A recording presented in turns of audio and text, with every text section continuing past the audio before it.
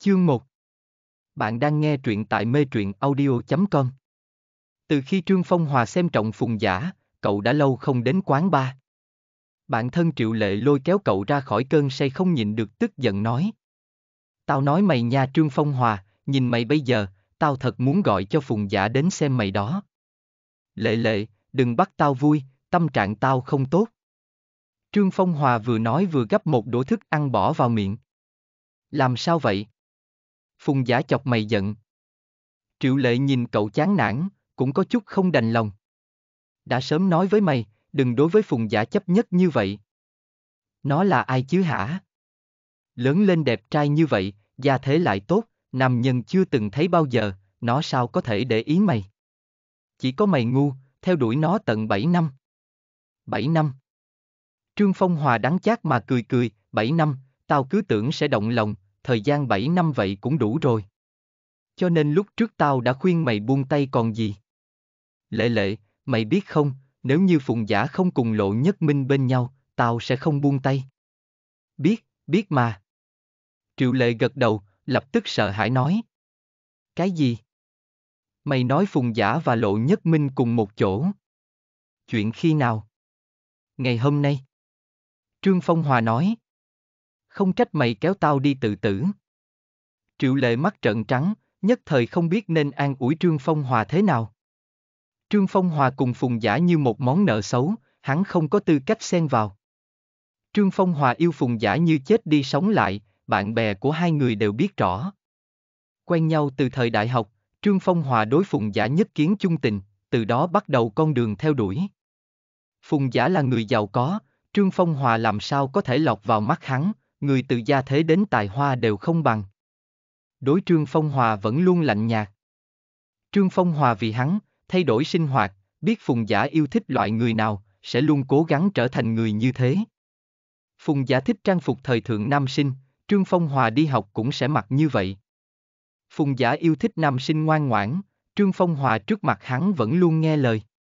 Phùng Giả thích nam sinh biết làm cơm, Trương Phong Hòa liền học nấu ăn đến cực kỳ giỏi. Phùng Giả yêu thích. Chỉ cần là Phùng Giả thích, Trương Phong Hòa sẽ làm theo. Bảy năm đóng vai người khác, Trương Phong Hòa dần dần quên mất sở thích của mình, thế giới của cậu thu nhỏ chỉ còn lại Phùng Giả. Bảy năm, cậu cùng Phùng Giả một chút tiến triển cũng không có, nói ra thì là lừa người. Có lần Phùng Giả uống say, cùng nhau lăn lên giường. Sau đó, vẫn có lúc sẽ lên giường cùng nhau. Mặc dù như là mối quan hệ bạn tình, nhưng Trương Phong Hòa vẫn luôn cho là, Phùng Giả sẽ có lúc yêu cậu. Mãi đến khi Lộ Nhất Minh xuất hiện. Vô luận gia thế hay tài hoa, dung mạo của Lộ Nhất Minh đều luôn xứng với Phùng Giả, khó trách hắn yêu thích y đến như vậy. Một người như vậy, cùng mẫu người lý tưởng của Phùng Giả hoàn toàn khác nhau. Sẽ không làm cơm, cũng không ngoan ngoãn, tính cách hướng ngoại, rất hay cười, vô cùng rực rỡ. Phùng giả cảm mến chính là người như vậy. Trương Phong Hòa rốt cuộc phát hiện mình thua, thua triệt để. Chân chính yêu thích một người, sẽ không còn đặt ra những điều cứng nhắc như vậy nữa. Mà gặp đã không thích, thì có dây dưa thế nào cũng không yêu. Lệ lệ, tao buông tay. Trương Phong Hòa uống say mắt lờ đờ mông lung. Ngoan, sau này mày cùng lệ lệ ca chơi thôi. Triệu lệ nhéo mặt trắng nõn của Trương Phong Hòa, cảm thán phùng giả ngu. Để ăn mừng mày cuối cùng cũng thoát khỏi bóng ma phùng giả, đêm nay tao kiếm cho mày một mảnh năm nha. Kiếm cái đầu mày. Trương Phong Hòa khinh thường, tao cùng phùng giả đã sớm làm. Lời vừa ra khỏi miệng, Trương Phong Hòa hối hận rồi, quả nhiên uống nhiều, cái gì cũng nói.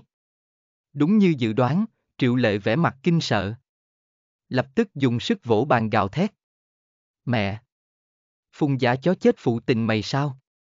Trương Phong Hòa bất đắc dĩ sờ trán, tiếp tục uống rượu, ngậm mồm lại đi. Triệu lệ, cho tao yên tĩnh một chút. Nói xong, không để ý lỗ tai của mình vẫn có người lèm bèm. Không biết uống bao lâu, cậu say ngất, bên tai vẫn nghe tiếng ồn ào. Chỉ nghe giọng việc đực của Triệu Lệ. Đại soái ca, Tiểu Phong nhà tôi giao cho cậu, ôn nhu với nó nhé. Mơ mơ màng màng, Trương Phong Hòa bị người mang đi. Mở phòng, lăn giường. Sáng sớm tỉnh lại, liền thấy một gương mặt xa lạ nằm bên cạnh. Trương Phong Hòa đầu đau, nghĩ cũng biết nhất định là do Triệu Lệ dở trò quỷ. Lấy điện thoại ra nhìn, quả nhiên nhận được tin nhắn của Triệu Lệ, Tiểu Phong, phương pháp để quên mối tình cũ nhanh nhất là đây, chính là tìm trai mới.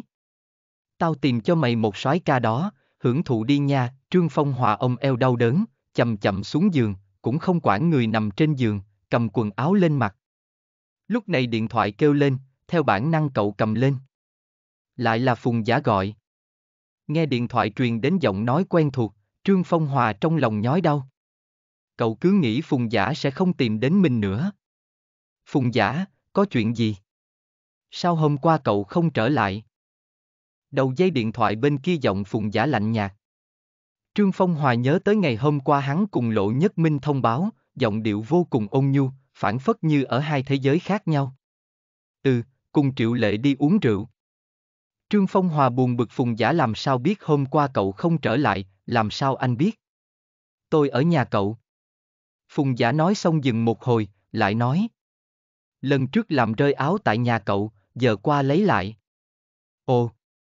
Trương Phong Hòa nhu nhu mi tâm, nhớ tới một tháng trước, Phùng Giả đến tìm cậu làm tình, lúc rời đi có làm rơi áo khoác tại nhà. Tôi có giúp anh giặt lại rồi cất vào tủ, anh đến phòng ngủ tìm đi. Cậu đang ở đâu? Phùng Giả hỏi. Trương Phong Hòa trầm mặt một chút, nhất thời không biết nên trả lời thế nào. Phía sau truyền tới giọng nam. Em dậy rồi à, sao không ngủ thêm? Trương Phong Hòa quay đầu lại, nhìn thấy một gương mặt dương quan xuất khí, đứng phía sau cậu, biểu lộ muốn ông cậu. Trương Phong Hòa sợ quá hô to. Cậu tính làm gì? Bảo bối, sao em lại lạnh nhạt như vậy? Rõ ràng tối hôm qua còn nhiệt tình mà. Trương Phong Hòa nói.